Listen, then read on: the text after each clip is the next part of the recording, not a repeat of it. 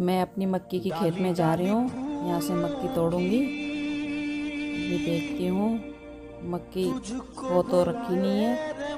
तो मेरी जिठानी कह रही है, मेरे से ले जाओ। तो मैं अपनी जिठानी से लूँगी मक्की।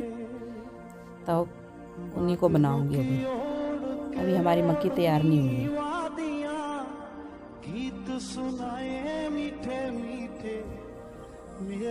ये देखो, ये चार ही मक्का मिले हैं।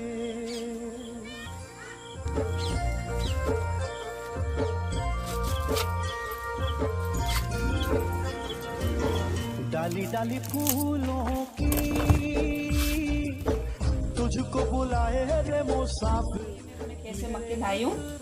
हमारे तो हो नहीं रही है अभी मक्की हमारी हाईब्रिड मक्की मक्की है, वो लेट होगी इसलिए मैं अपनी जिठानी से मांग के लाई हूँ दो तीन अपने खेत से तोड़े।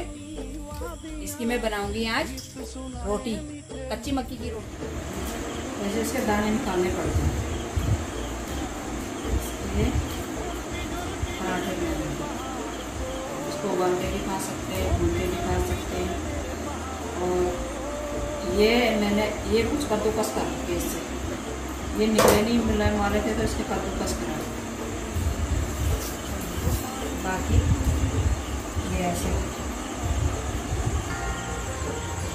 इसके दाने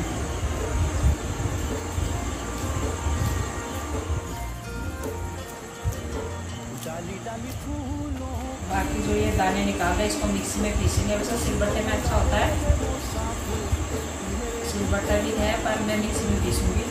टाइम लग जाएगा इसमें मिक्सी में जल्दी हो जाएगा।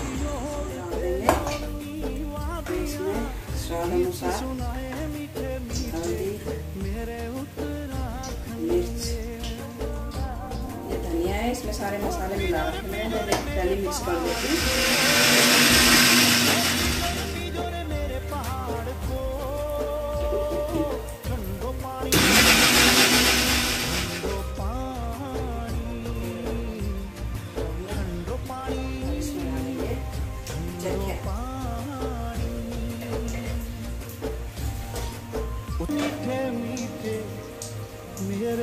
उत्तराखंड में।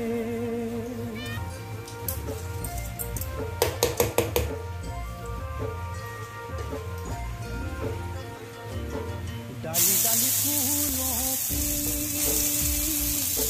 तुझको बुलाए रे मुसाफिर मेरे उत्तराखंड में।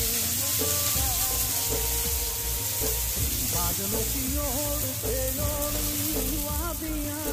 ये ऐसे फैलाना पड़ता है। इसे चम्मच से फैला दो। अगर आपने बड़ी कढ़ाई से फैलाना तो उससे भी फैला सकते हो।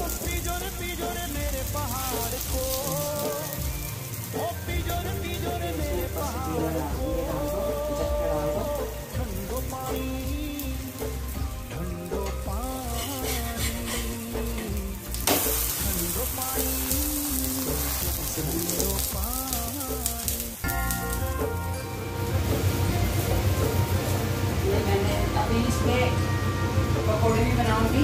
ये मसाला सेल वैसे रहेगा इसमें मैं अलग से प्याज काट के डालूँगी बारीक प्याज ताकि इसको स्वाद आए पकौड़ी में। और इधर ये तेल गरम हो है। इधर ये तेल गरम करने रख दिया मैंने बादलों की ओर प्याज डाल दूँगी अलग से। इसे मिक्स कर दूँगी।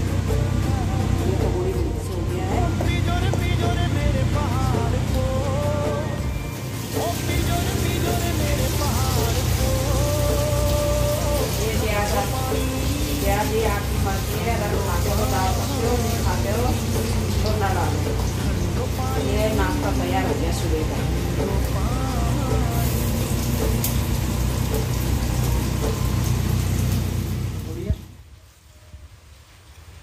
बारिश के मौसम में और भी अच्छे लगे की रोटी? सरसों का साग नहीं है, सॉस के साथ।